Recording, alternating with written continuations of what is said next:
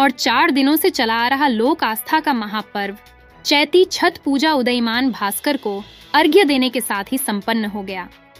इस दौरान गोमो के विष्णुपुर और जीतपुर जमुनिया नदी घाट पर छठ व्रतियों और श्रद्धालुओं की काफ़ी भीड़ उमड़ी रही, जहाँ छठ व्रतियों ने नदी में खड़ी रह भगवान सूर्य की आराधना करते हुए अपने सुख समृद्धि की कामना की। चैती छठ आस्था का त्यौहार है। हम सभी लोग बहुत आस्था से विश्वास से माँ का व्रत और पूजा करते हैं। और कुछ? और कुछ? बस हम लोग नदी से ही आ रहे हैं बहुत अच्छा लगा। ये तो